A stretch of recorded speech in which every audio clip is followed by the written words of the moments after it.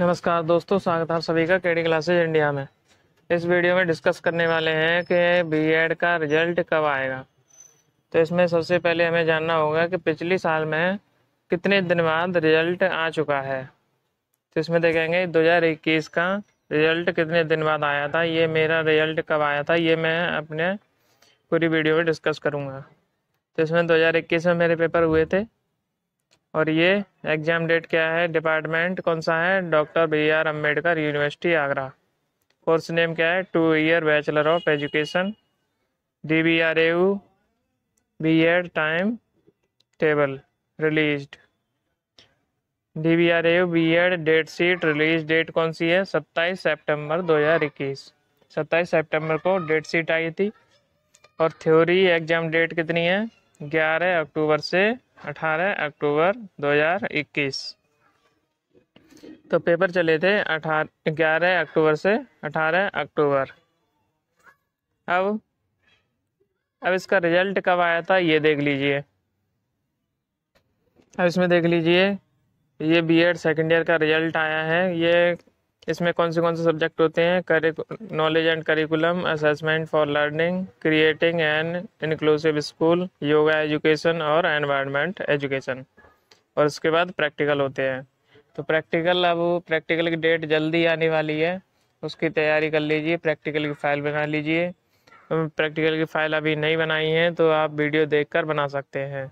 सभी वीडियो डली हुई है चैनल पर। चैनल पर जाकर सभी वीडियो देखकर अपनी फ़ाइल बना लीजिए, उसमें महत्वपूर्ण फ़ाइल हैं, जो पीली वाली फ़ाइल होती हैं सेकेंड ईयर के लिए, उनको बना लीजिए और एक चार्ट बना लीजिए और एक इंटर इंटर्नशिप की फ़ाइल होती है, उसको बना लीजिए।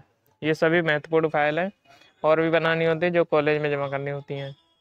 इसमें रिज़ल्ट कब आया था, ये देख लीजिए।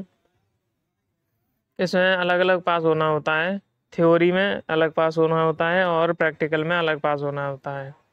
इसमें प्रैक्टिकल अच्छे से अच्छा दे के आएँगे, तभी पास हो पाएँगे, क्योंकि इसमें ये कितने में से लाने होते हैं ये? ये देख लीजिए, ये 200 का वाइवा होता है मेन प्रैक्टिकल एंड वाइवा 200 का वाइवा होता है, उसमें 100 कम से कम लाने होते हैं। अगर इसमें से कम रह जाएँगे तो इसमें फेल कर दिया जाएगा प्रैक्टिकल में। तो प्रैक्टिकल में फेल हो जाएँगे तो फिर उसमें दोबारा प्रैक्टिकल देना होगा दूसरी साल में। तो एक साल बर्बाद हो जाती है इससे। इसमें रिज़ल्ट कब आया था? ये आया था चौदह बारह दो हज़ार इक्कीस। डेट ऑफ़ रिज़ल्ट डिक्लेरेशन चौदह बारह दो हज़ार इक्कीस। तो ग्यारह अक्टूबर से अठारह अक्टूबर पेपर चले थे और चौदह दिसंबर से चौदह दिसंबर को रिज़ल्ट आया था। अब इसमें दिन कितने हो गए? अठारह अक्टूबर के बाद दिन होंगे बारह दिन वो हो जाएँगे अक्टूबर में। और उसके बाद नवंबर में तीस दिन हो जाएँगे और ये चौदह दिन दिसंबर में हो जाएँगे। तो ये कितने हो जाएँगे? बारह और चौदह।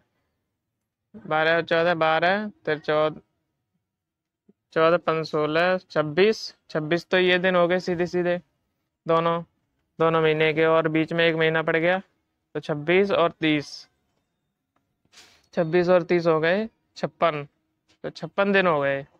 अब छप्पन दिन यानी कि दो महीने के लगभग हो गया। तो आपका रिज़ल्ट आएगा। रिज़ल्ट जो डेट शीट आई थी, उसके लास्ट पेपर से जोड़ लीजिए, लगभग दो महीने के अंदर आ जाएगा। तो ये जानकारी मिल मिल गई होगी आपको। अब इसमें आप ध्यान रखिए कि प्रैक्टिकल अच्छे से अच्छा देकर आएँ, जिससे कि अच्छे से अच्छे नंबर आ सकें। क्योंकि प्रैक्टिकल में लाना ज़्यादा बड़ी बात नहीं है। पेपर में तो कम हो जाते हैं। प्रैक्टिकल में ज़्यादा से ज़्यादा नंबर ला सकते हैं। अगर वीडियो अच्छी लगी हो इन्फॉर्मेटिव लगी हो तो वीडियो को लाइक कर दीजिए और चैनल को सब्सक्राइब कर लीजिए। वीडियो देखने के लिए बहुत बहुत धन्यवाद।